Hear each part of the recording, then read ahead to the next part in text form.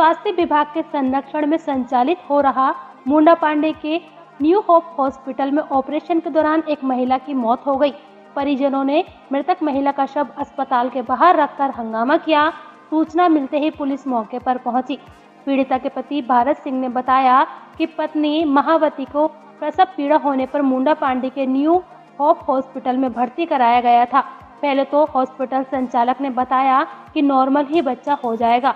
बाद में ऑपरेशन के लिए बोला महावती का सिजेरियन से बच्चा तो पैदा हुआ, लेकिन जिसने ऑपरेशन किया उसने लापरवाही करते हुए नस काट दी, जिससे खून बहने लगा और कोशिश के बावजूद नहीं रुका तो ऑपरेशन करने वाला टेक्नीशियन भाग गया।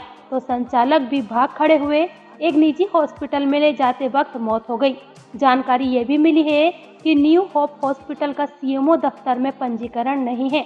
झोला छाप डॉक्टर्स ही इसको A CMO doctor Sanjeev Belwal के संरक्षण में खुले बैठे हैं और खुलेआम ऑपरेशन करते हैं। इस संबंध में जब A CMO doctor Sanjeev Belwal से पक्ष जानना चाहा तो उन्होंने बताया कि न्यू होप हॉस्पिटल का रजिस्ट्रेशन नहीं है तो क्या हुआ? ज़िले में सैकड़ों अस्पताल अपंजीकृत हैं, उसमें भी तो मौतें होती हैं। पीड़ित पोस्टमार्टम कराएगा तो जाँच कराई जाएगी, अन्यथा नहीं। जैसा हो रहा है होने दो। क्या नाम है भैया आपका? हटो हटो। भैया क्या नाम है आपका? बता दो। मेरा नाम भारत सिंह है। ये जो महिला हैं आपकी कौन लगती है? मेरी पत्नी। आपकी पत्नी लगती है। क्या हुआ था इनको जो यहाँ अस्पताल लेकर के आए थे? एडमिट कराया था डिलीवरी होने वाली थी। तो यहाँ पर डॉक्टर मिले थे जब आप आए थे तो? डॉक्टर नर्स थी जिनसे बात हुई थी वही मिले थे और एक नर्स थी यहाँ दो नर्सें थी। अच्छा क्या कहा था उन्होंने?